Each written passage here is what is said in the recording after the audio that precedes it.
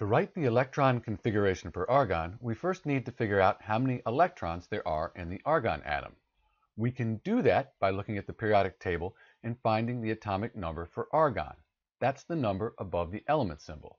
It tells us the number of protons, but it also tells us the number of electrons.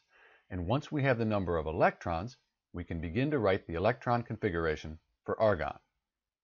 We use the chart on the right to help us write the notation for argon. We'll go down the first row, and that we have the 1s. s orbitals can hold up to 2 electrons, so we'll put a 2 after the s. We'll go down the next row, we have the 2s, s's can hold 2, and then to the third row, where we start with the 2p.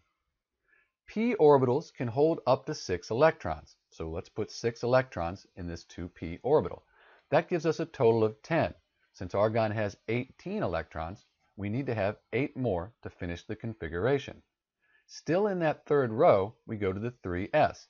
Let's put 2 there, and then we go to the fourth row, which starts with a 3p. p's can hold up to 6. We already have 12, so if we put a 6 in that p, we have 2 plus 2 plus 6 plus 2 plus 6. That gives us 18 which is the number of electrons for the argon atom.